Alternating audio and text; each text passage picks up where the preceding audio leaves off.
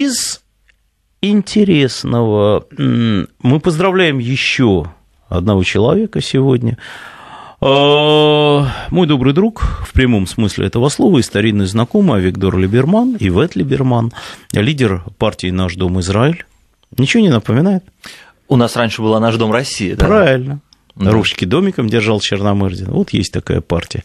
В основном русскоязычная. Э, договорился о вхождении его партии в коалицию правительственную.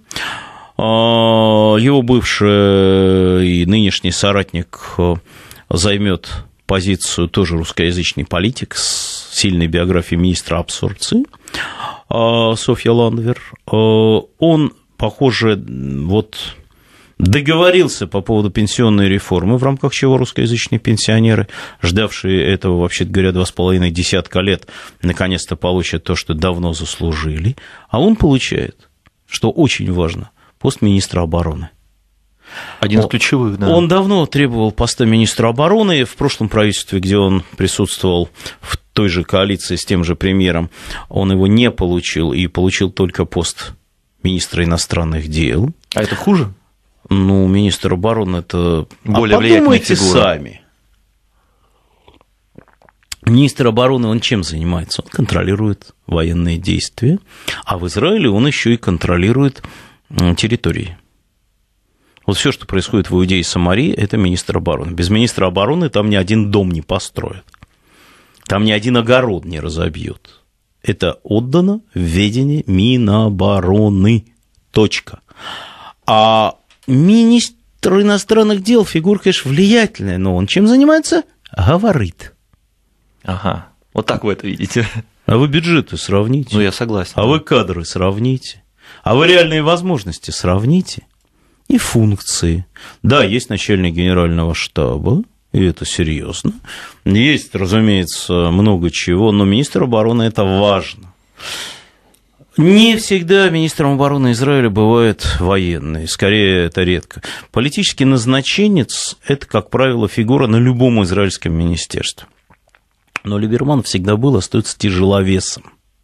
Вот это такой бульдозер, который катится на самом деле и разравнивает на своем пути то, чего надо разравнивать. У него не остается нерешенных проблем, он очень эффективный менеджер. А, собственно говоря, ну, вот таким же эффективным на любом, причем министерстве, неважно, инфраструктуры он его тоже возглавлял или каком году, был Шарон, Ариэль Шарон, которого умудрился стать вообще-то премьер-министром. Для Либермана, несмотря на то, что у него в партии шесть пока человек, это вообще-то прямая дорога к карьере премьера.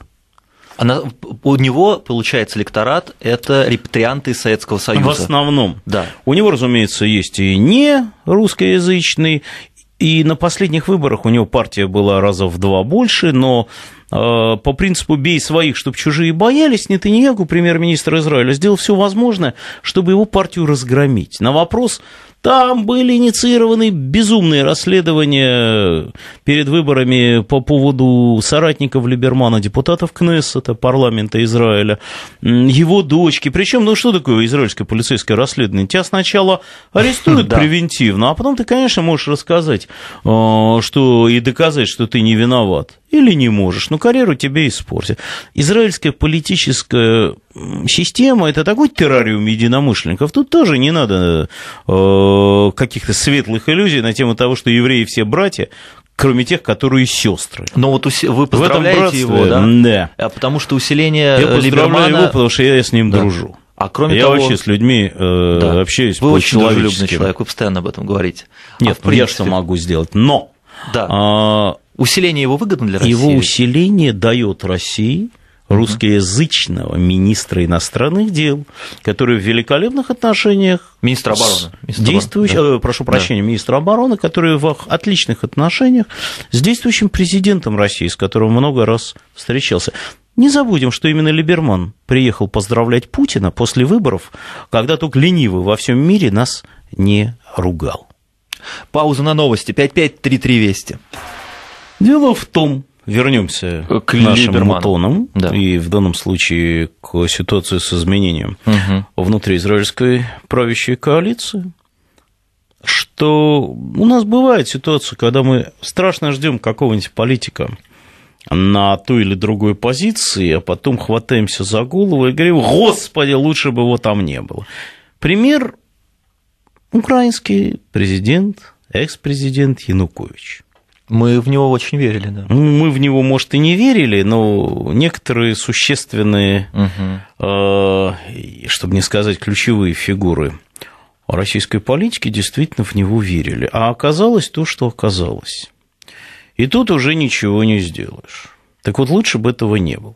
А вот в случае с Либерманом у нас есть тесное сотрудничество с Российской Федерацией, и когда он был министром иностранных дел, и во все времена, он действительно понимает, что весь бред направленный против России, санкции, обвинения в том или в этом, шельмование, наш диалог с Пентагоном, это не есть полезно.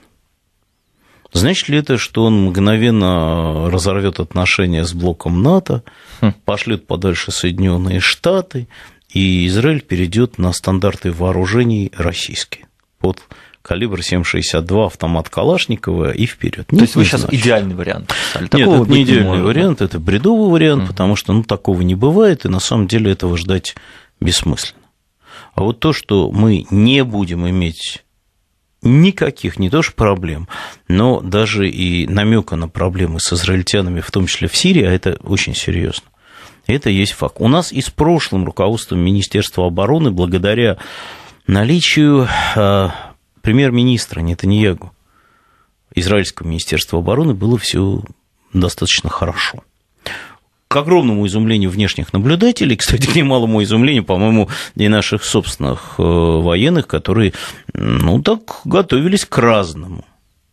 И вдруг оказалось, что наш брат-союзник, крупнейший деловой партнер, едва ли не опора в регионе Турция, и не брат нам совсем – и не партнер. И да. не партнер. И не опора. Да уж, какая опора, да. да. Как почка, Спасибо да? Эрдогану за все, за наше счастливое почка. детство. А вот с Израилем, который традиционно э, мы шпыняли после разрыва дип-отношений в 1967 году, там два с половиной десятка лет всячески помогали в военном плане его противникам региональным. И оружием их нафаршировывали, и военнослужащими, военными советниками, и на фронте было множество э, против Израиля воевавших советских военнослужащих – и все ничего. При этом и до этого было все сложнее, потому что и в 1956 году, мягко говоря, не очень-то, хотя уже был Никита Сергеевич Хрущев, были отношения, и Сталин их умудрялся сразу после, почти сразу после установления, разрывать после дела Сланского, расстрела главы Компартии Чехословакии. Там много было. Никаких проблем в Сирии. Выясняется, что э, если есть какие-то шероховатости, тут же их можно разрешить что называется, спокойно поворачиваемся друг к другу спиной, не ожидая, что тебе в эту спину ножик засадят, как произошло с Турцией по нашему истребителю-бомбардировщику. А вот здесь нормально, но с Либерманом-то сильно легче. Вообще гораздо легче договориться с министром, который говорит по-русски. Понятно, что он будет придерживаться, ну, скажем так, баланса, как минимум, высказывания в отношении Украины, хотя бы потому, что он сам родом из Молдавии, хм. и регион он знает хорошо, и не могут израильтяне выбирать между русским и украинским национализмами, при том, что украинский бандеровский, а русский имперский. И это две большие разницы. Империя, в ней есть масса минусов, только она и есть империя, нормальная форма существования крупного государства. И там нет национальности, они там не учитываются. Ну, скажем, они счету. есть, но иногда они ранжируются, да. но большая страна существует только в такой форме. А вот то, что мы имеем на отколовшейся национальной окраине под названием Украина, это, к сожалению, национализм фашистского типа. Он доминирует. А, в агрессивной группе, которая держит и Порошенко за ноги, за руки, и к ней принадлежал бывший премьер Яценюк, и масса разных персонажей, от Коломойского бывшего губернатора Днепропетровской области до западноукраинских националистов, до бойцов, а, повторю еще раз, фашистских батальонов Азов, Айдар, которые действуют на Новороссии, и Савченко, которую то ли обменивают, то ли нет, но не стоит она того, чтобы об этом сегодня говорить, с моей личной точки зрения, а, что называется, не тех размахов крыла псиса, если, конечно, вообще птица, так, гриф помойный.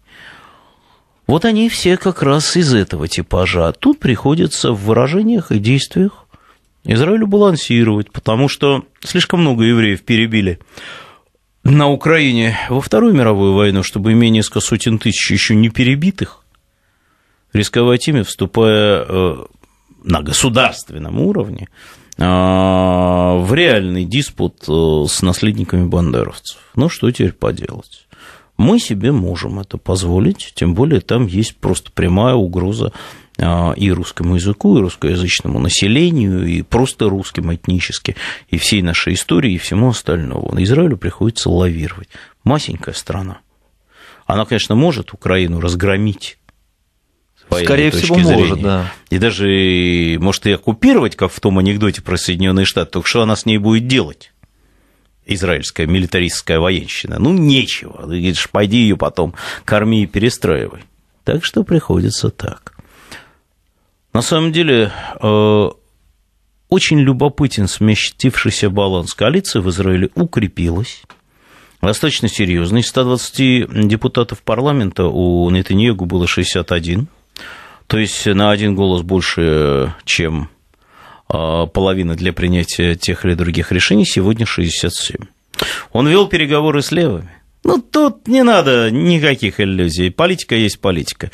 Грязное занятие для пожилых мужчин, согласно Черчиллю. И он успешно вел переговоры с левыми, с лидером партии труда герцогом Бужи.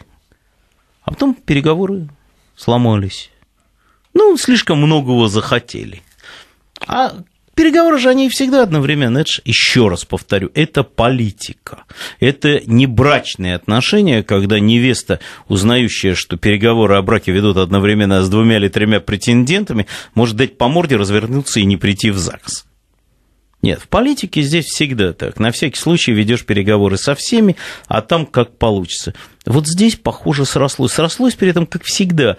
Правый лагерь был против, потому что зачем конкурент. Министр обороны, которому предлагали весомые посты, обиделся и ушел э, из Кнессета, это вовсе не значит, что из политики, и сейчас к нему а, бегают представители разных партий и говорят, давай, давай, скорее к нам. А, тем более он хороший министр обороны, ну, левый, ну, неплохой.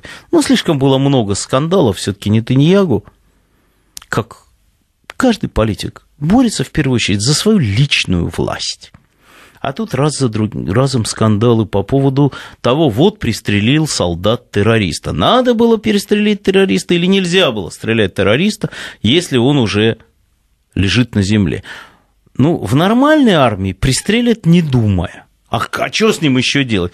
В израильской армии, которая, с моей точки зрения, ненормальная с точки зрения прав человека, норм наблюдения за солдатами, и всего такого, чего наш общий знакомый Максим Леонардович Шевченко называет страшной оккупационной, фашистской, военщиной и много чем другим, как, впрочем, и меня теми же самыми примерно словами. Вы тоже военщина оккупационная? Не, я там...